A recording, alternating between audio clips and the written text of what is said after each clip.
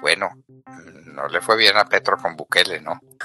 Trató, trató de, distraer la atención de los problemas que tiene Colombia, del ataque a Emerald Energy, del ataque en el norte, en el norte de Antioquia, de las situaciones económicas que son muy delicadas, entonces se pone a pelear con Bukele y no le fue bien. No le va bien porque además está peleándose, doctor Fernando, probablemente con uno de los presidentes de más alta favorabilidad en América. Esto no es una pelea sencilla y por supuesto Bukele es un referente en muchos lugares del mundo como un presidente que ha logrado pacificar El Salvador, que tiene un problema de orden público también de muchas eh, décadas y que ha tenido que soportar y él lo ha logrado, eh, digamos, de alguna manera em, controlar muy bien porque ha reportado como hay cero, cero homicidios en su país. Resulta que, señor... Bukele, Bukele le hizo un mandado grande al presidente, ¿no? Al presidente Petro muy duro. Ah, cuando le, eh, ayer, por la familia. Ayer CNN publicaba lo siguiente. Fiscales en Nueva York alegaron que altos funcionarios de Buque le hicieron un pacto con las pandillas a cambio de mejores condiciones. Escuchen muy bien, a cambio de mejores condiciones.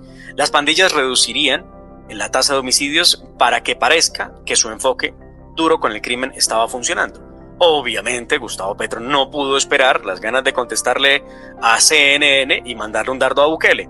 Escribió Petro, mejor que hacer pactos del gobierno por debajo de la mesa, ya lo dice el gobierno Petro, es que la justicia pueda hacerlos encima de la mesa, sin engaños y en búsqueda de la paz. Fue lo que le dijo el señor Gustavo Petro a esa respuesta de CNN. Pero, por supuesto, eh, Nayib Bukele contestó. Póngase de acuerdo. Primero acusa de tratos inhumanos y ahora hablan de mejores condiciones. Además, no entiendo su obsesión con El Salvador. ¿No es su hijo el que hace pactos bajo la mesa y además por dinero? ¿Todo bien en casa? Todo bien en casa. ¿Cómo le parece? Pues no es su hijo el que hace pactos por debajo de la mesa por dinero. Bueno, es que pues cuando uno tiene rabo de paja no se arrima la candela. Entonces al presidente Petro hay que decirle no se ponga a pelear con Bukele porque esa es una pelea en la que le va a ir muy mal. Y menos ahora cuando tiene que explicar dónde está el muchacho. ¿Por qué no da un ejemplo? Porque usted dice, no es que di el ejemplo presentando la denuncia, no, dé el ejemplo haciendo que su hijo se presente ante la Procuraduría y ante la Fiscalía.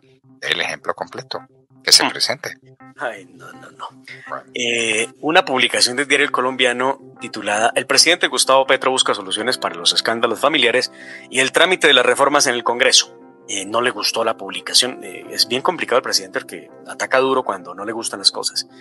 Y entonces le cuestiona al diario El Colombiano y le pregunta de qué crisis están hablando.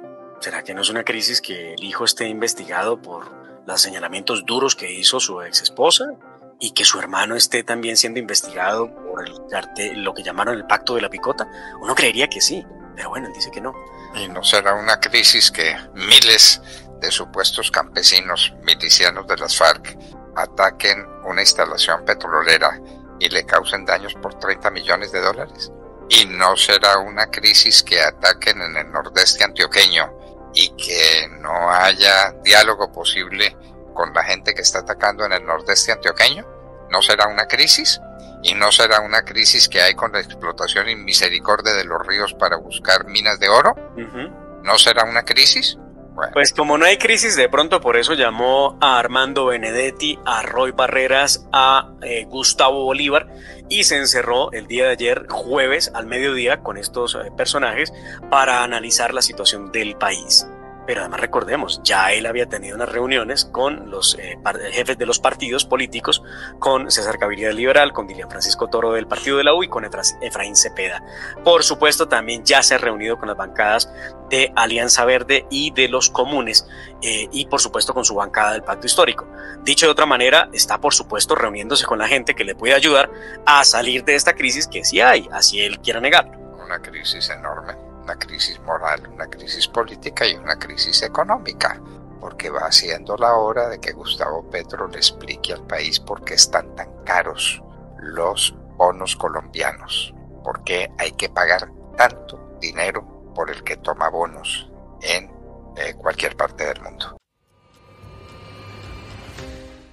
Luego de la semana más difícil para el gobierno nacional, el presidente Gustavo Petro, para tratar de conjurar todos los problemas que tiene hoy su gobierno y su propia familia, decidió publicar los resultados de esta encuesta del Centro Nacional de Consultoría, donde, según él, tiene una aprobación del 51%. Sin embargo, lo que nos dijo el presidente Gustavo Petro es que esa encuesta del Centro Nacional de Consultoría fue pagada por la Presidencia de la República en este contrato que revelamos por más de 762 millones de pesos, el cual tiene una duración de 8 meses. También oculta el presidente que esa encuesta fue recogida entre el 10 y el 17 de febrero.